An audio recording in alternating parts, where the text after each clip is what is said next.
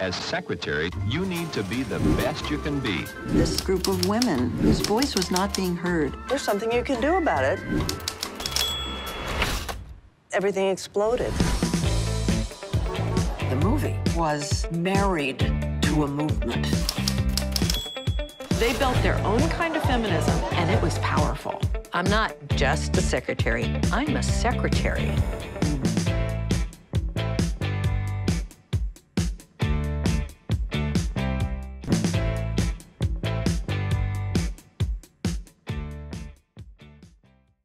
Hi, everybody. And um, Elise and Angel, it's great being on this panel with you.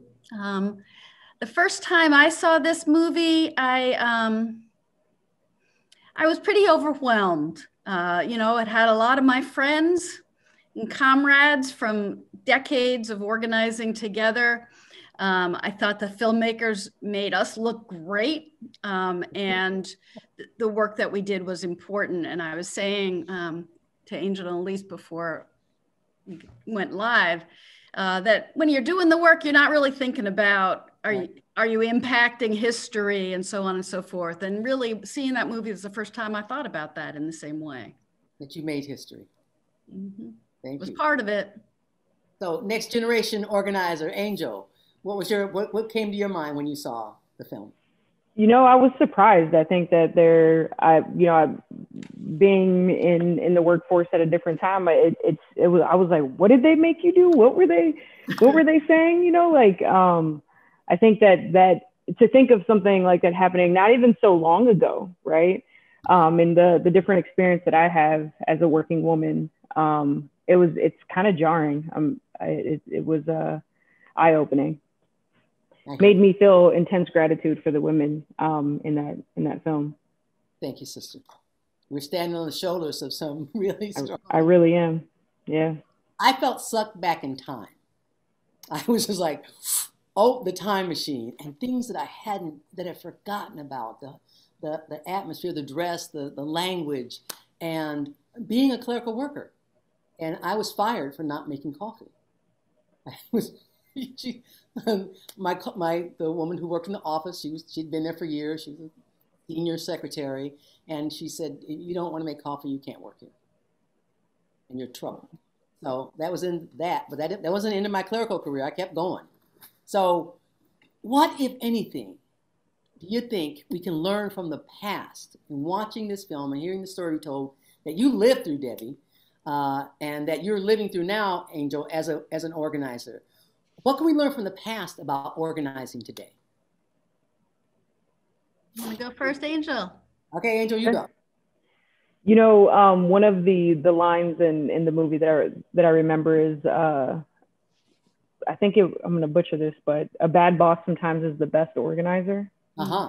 Uh huh. um, and I think that that is is so true, right? Like it is it is important that we are united on on one thing, one point, um, you know, so that we can be inclusive and have different people from different backgrounds be able to join the fight. Um, but having a central, uh, well-defined um, purpose and, and movement, I think, is is important in in building. And I think that that has not changed, and it's something that we need to remember um, while we while we continue to to build.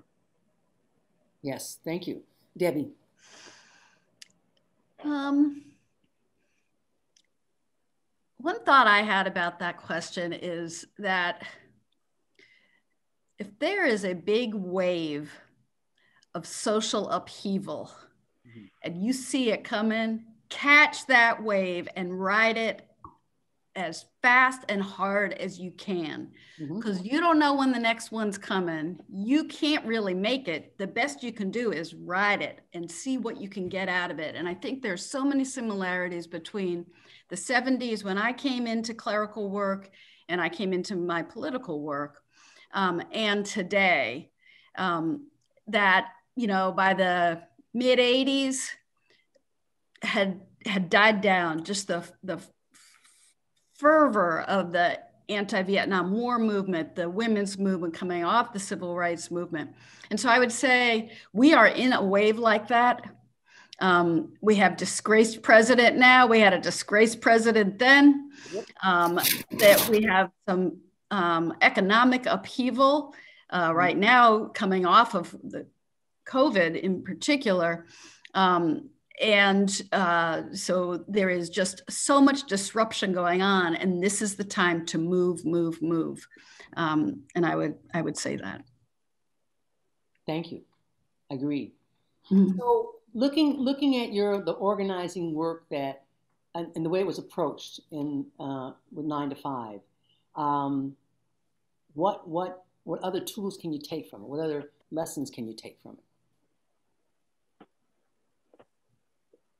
I think one of the the things that I thought was was awesome was this concept of uh, skill sharing and creating like these, you know, just basic skills that you could use to be an organizer, which is what what we do now. Um, but how they have been the same and how they've evolved, um, especially now with you know technology and and the way that that um, the world has has moved.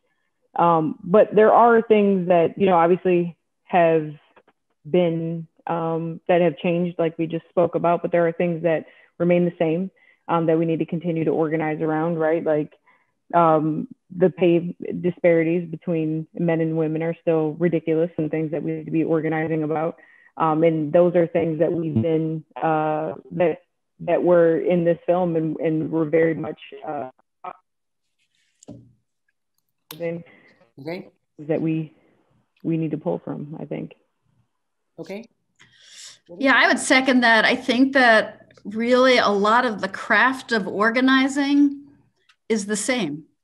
Mm-hmm. Um, the um, open the door, take people in where they are, don't use language or have expectations about where people are going to be when they come in, um, but bring them in um, um, make things accessible, uh, let people be active where their comfort zone is, and then once they get the jazz, um, as Carol Sims said in the movie, uh, they're going to want to do more and more. So I feel like that.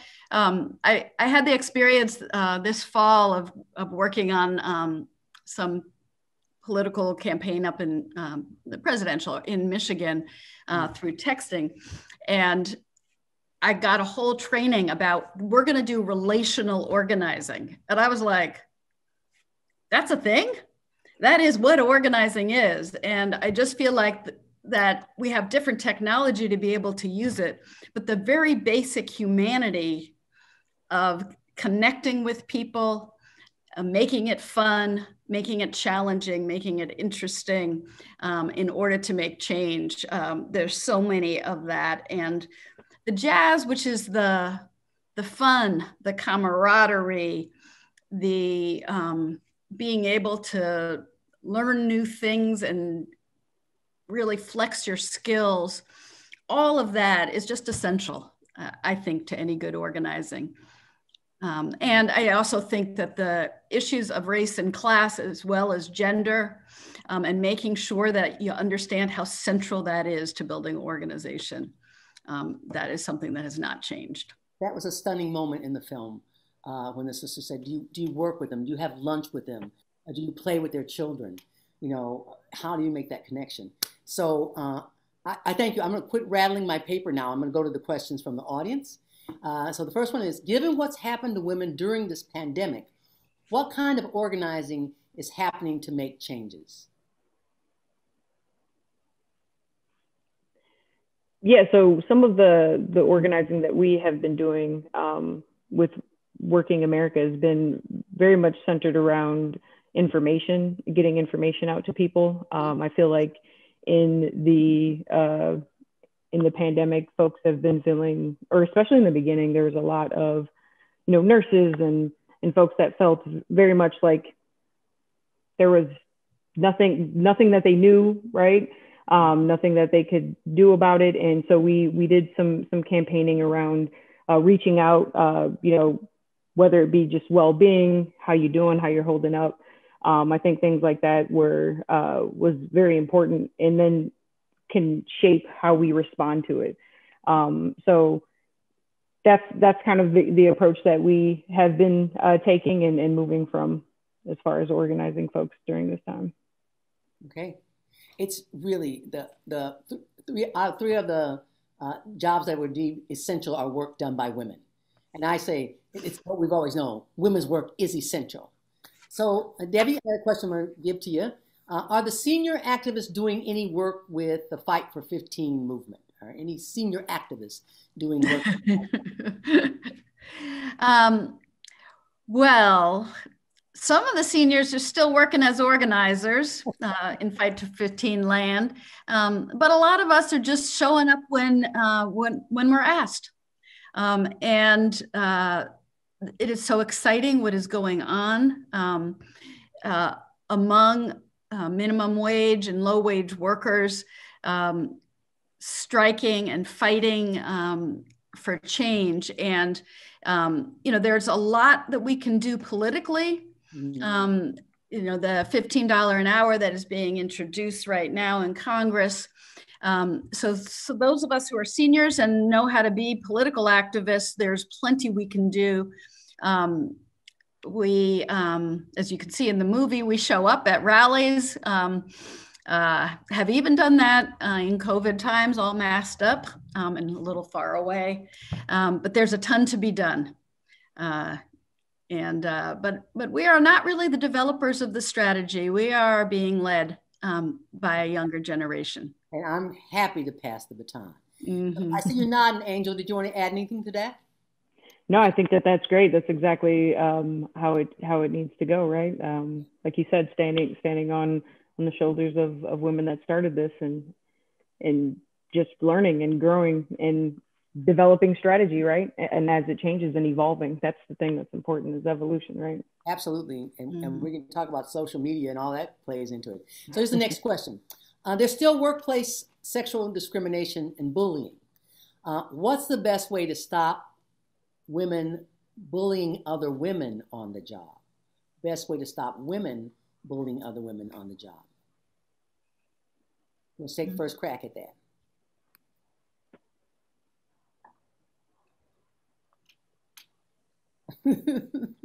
Think about it for a moment. Well, it's not something that I've actually spent um, much time on because it's not something that's come at me very much in my life. But I would say it's like any other um, workplace problem is that you have to find allies um, and that the collective is the answer.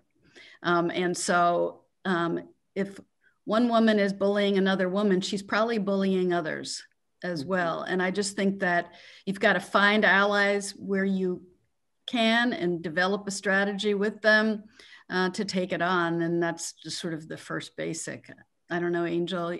Angel and I have worked in very different kinds of places. Um, uh, so, you know, in uh, clerical workforce, there's one thing, and uh, the kinds of places you've worked and you've organized are different. Yeah, I would say that um, just like any type of, of bullying, right? Um, it it is something that uh, we can't completely say that we have a, a strategy to eliminate, right? Um, I think that there are tools in our tool belt that we can use. Um, I think knowing um, the the company that you're working for and the policies that they uh, claim to uphold and and making sure that those are well versed and spoken about early and often. Um, I think um, knowing who to go to when things are like the, things are happening. Um, I think it falls heavily on leadership um, of any organization to to kind of set the culture for that type of thing. Um, so uh, because of uh, the the changes that have uh, that we've been that I'm now um, experiencing and, and being able the privilege to experience, um, there are a lot of women in um, positions of leadership and being able to uh, to understand like okay that is who I talk to if I'm experiencing this from this uh, this group of people. I think sometimes when it's fuzzy and the hierarchy is fuzzy, you're like, okay, I don't even know who that person's boss is or who I should be talking to about certain things. So making sure that everybody along um, the entire organization understands that, I think is, is a, a, a good step. um, it's about the infrastructure that you build within an organization and, and um, how much people know it um, to be able to, to, combat stuff like that. And I'm a labor educator, so I always think you need to be having classes, you need to be doing training. You have to have information available, readily available for people to access. Yep. Um, so here's the next question from our audience. Have you been following the organizing efforts of Amazon in Alabama? And what are your thoughts? Yes. Speaking of uh, what something that's rising up from this pandemic and from this last administration and the and women and people of color and the Black Lives Matter movement, Amazon is organizing. What do you think? Yeah, it's a big warehouse down in Alabama, and the ballots are going out, and I am looking forward to a win from them by the uh, time they count those ballots in March. Uh, you know, the employers tried every way it knows how to avoid the, they didn't want a mail ballot. They wanted to make people come in in person. I mean just every trick in the book these employers will use but uh, these workers have organized. They are going to have their vote. They're going to do it by mail. Um, and i'm excited to see what's going to come from that because uh, the rest of the country and the rest of the world can take a lot of um, optimism if these workers in Alabama stand up. Um, and we're going to have to help them get that first contract. You can see um, from the movie that getting the first contract is not always easy. Um, so they got to keep organizing past that first win, and there might be ways we can, as as consumers, can help. And we won't talk about defeats because we got on that in our chat. Angel, you want to address this? I I, uh, I think that's a Debbie right on point. Um, the only thing I would add to that is it's right on time. I mean, mm-hmm. it is right on time. It's right on time. So next question. Do you think 9 to 5 was more creative because it was a grassroots women worker led movement rather than a project undertaken by an established union? What was that impact of having grassroots women worker led rather than the top down hierarchical structures that we know today? Uh, Debbie, yes. want to say about that? yes. Okay. I yep. think I think that when things are creative, I mean, when things are grassroots, they will be more creative. They're, you know, they will be more reflective of the people who are organizing. Um, and uh, yes, I definitely think so. I know that, uh, Angel, you said that when you started organizing, the first thing you ask people is, what is important to you? Mm-hmm. Right? And in that, in that, in that aspect of getting people where they are right now. Yep. And so you found that, that that's that's working with grassroots, and that that's and people are being creative in that respect. I think that that's what drives the creativity, right? Um, it is one way to i mean you, you never want to come to a conversation with your mind made up because that's not a conversation anymore you're you're really just trying to convince somebody at that point which nobody likes to feel convinced or um, you know mm-hmm. sold on something um, so yes what knowing what is important to the to the folks that you're organizing and being um, flexible in that way i think is is what is uh, what makes it powerful and I, am not I can't speak for for the nine to five movement, but I think that that is something that I find to be so inspirational is that it came from what it was trying to change, right? So like it cannot get more raw and more organic and more real than that, and that's why we have to, you know, it's it's it's about learning from that and and growing from that. Raw, real, and organic. Thank you, sister. I am so there. so this is a question I'm gonna I'm gonna take to you first, uh, Angel, uh, because you're doing it right now uh, well, here's workers are struggling to build relationships because of the pandemic. There is no way to go to have lunch or grab coffee safely. So, what tips do you want to can you give folks to keep organizing under this quarantine?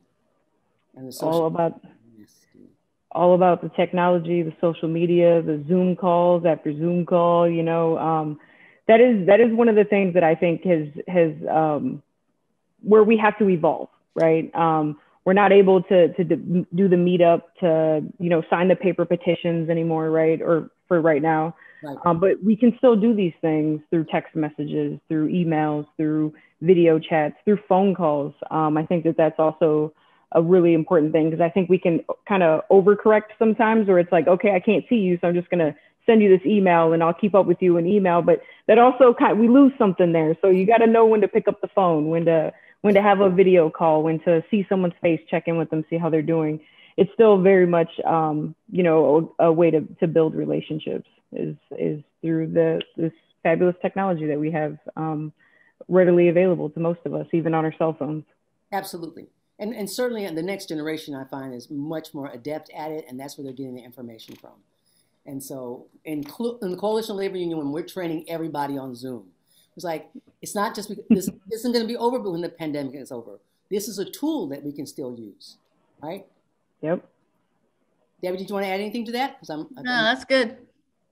So, so the question is, this is a basic question. Are most unions still so dominated by men? it could be yes or no, but you could go on about it. At least you know the answer to that. What did you tell us? we know. Yes, it is still. It is still. right? Um, and and what does that mean in terms of organizing and and what and the work that we're doing? Mm-hmm. I mean, not all unions are, and I think if you look at the unions that the that have been really been taking incredible action. Um, this year in the pandemic, the years before, uh, the teachers in all of those red states that have been so militant, um, the healthcare workers um, who are insisting um, on on their rights um, this year and ongoing.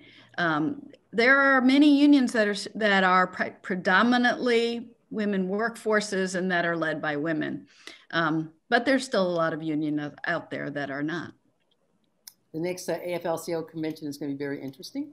Angel, do you want to add anything to this? I mean, it's the takeover, right? I, I mean, it about how it's important that the folks that are being organized have a seat at the table and are a part of these conversations and it changes the strategy when the folks that are in charge of, of things um, know what it's like and so um, it's only I, I think it, it is from my perspective it is diversifying where because of movements like the nine to five movement where we are uh, you know churning out these strong uh, women leaders and and it's uh it's only a matter of time before it, it balances itself out. Okay, so I see I see a question in the chat room about Black Lives Matter, but I'm not sure uh, because there are more, and I know we're, we're running uh, uh, low on time. So let me let me go to the next one. I'm a member of Philly CLUW. Hello, Philly CLUW. was a Lori girl temp in New York in the 70s and could have used nine to five. Uh, people have become so used to Zoom that, lab, that labor movements should take advantage of that to turn to Zoom for organizing in a major way. That's, that's, that's a statement, right? Okay. Uh, teachers, flight attendants. I'm going to scroll. Did I miss anything? Uh, let's see. Uh, we have an organizing committee right now comprised of all women, and they're concerned about not being inclusive or diverse right now in their efforts. I told them that will come in time, but I'm curious, what is your advice? What would be your advice to them? Because the workforce is not all women? but their committee is? Good question. That that's what I think their question is. we can't get to the um, ask that. Um, so I think you have to be intentional about this, and that you need to do the work until you have a leadership among who you're organizing that reflects the membership. Um, and uh, so if that means you have to do very particular outreach uh, to get some men involved, then you've got to come up with a strategy to do that. Um, you know, when we organize in the union, you have to worry about what shift people are on, uh, different job titles, as well as demographic um, things around race and gender. Um, so if it's all women starting, that's a very good start. Um, but then you have to be really particular about making sure you're going out and reaching out to people who, for whatever reason, aren't feeling welcome or inspired. Um, and listening's a very good start. uh, to figuring out what it is uh, that will bring them in. What about you? What do you think, Angel? I think that um, the fact that there is already a, a, recognition and an acknowledgement that you need to diversify is the first step, right? Mm-hmm. Um, I think that um, whenever trying to create a inclusive, diverse environment, it is about being okay with the uncomfortableness sometimes and kind of like what Debbie was saying, like going out of the way um, to figure out ways to, to be inclusive. So um, figure out what you've uh, been trying to stay away from and do that. Excellent. Thank you. Uh, we're going to wrap up here real quick. My last question, because this is the question that you said, Angel, that this is the first thing you ask somebody when you're organizing is what is important to you? What is important to you, Angel, right now? Debbie, what's important to you? Well, I would say what's important to me right now um, is kind of piggybacking off of what uh, the last question was, and that is very much staying intentional with the way that I organize and the way that I show up um, for the communities that I'm advocating for. Um, making sure that I'm also um, being okay with the uncomfortableness and being inclusive, right? Um, being intentional about um, uniting all people, all women, you know, trans women, women of color, um, the LGBT community, um, immigrants, everybody. Um, and sometimes it's hard to to even be like, uh, you know, some some of the folks who don't think the way that I do, and figuring out how we can find common ground and, and unite to to help us all in the end. Um, so. I think that's what's important to me when we're in this very polarized environment, right? Um, especially coming off of uh, a administration that felt so alienating to a lot of folks. Mm-hmm. You can you can start um, putting up your own walls and becoming part of the problem. Um, and so it's important to me to recognize when I'm doing that. When I see a, a uh, something that makes me put my walls up and think, why am I doing this right now? What could I do to change this right now? And how can I take note of it so I can help other people do the same? Thank you. Self reflection. Debbie, what's important to you? I think it's important to keep on keeping on. Mm. Um, that there are always going to be setbacks, there's always going to be frustrations, there's going to be outrages, um, and that so building community, investing in people, particularly focusing on people who are different mm-hmm.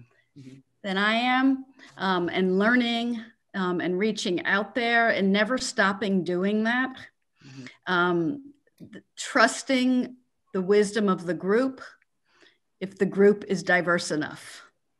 Um, and um, really keeping hope alive um, and keeping the jazz alive, because uh, I think those things are what's going to keep bringing the energy forward. Oh, yeah. Thank you. Thank both of you. Uh, I want to I really appreciate you for uh, sharing and for the good questions we got. Uh, tonight's screening was presented by the DC Labor Film Fest, the Coalition of Labor Union Women, the Labor Heritage Foundation, and the Rochester Labor Film Series. The DC Labor Fest is sponsored by American Income Life. I'd like to thank our techie, Evan. Thank you very much.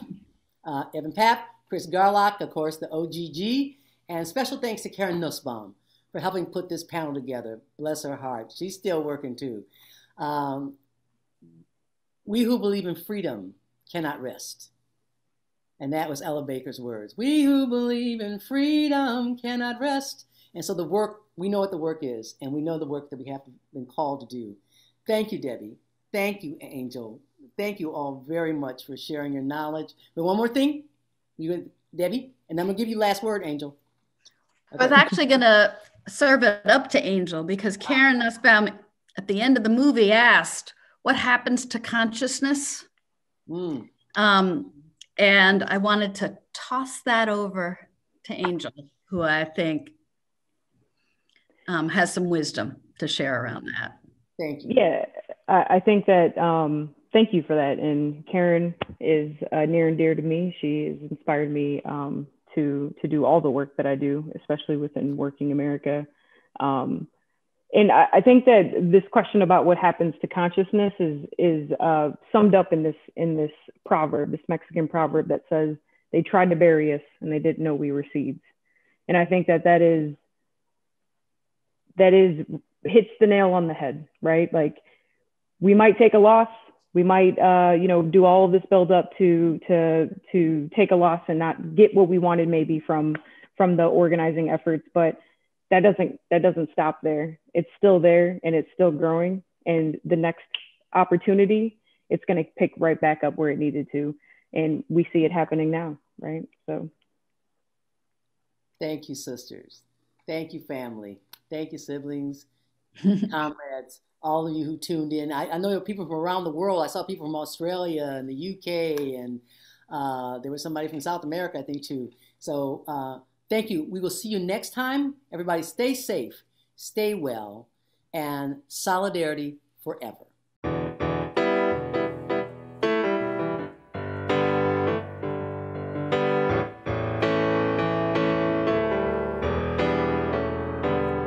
You better listen, my brother, cause if you do, you can hear their voices still calling from across the years.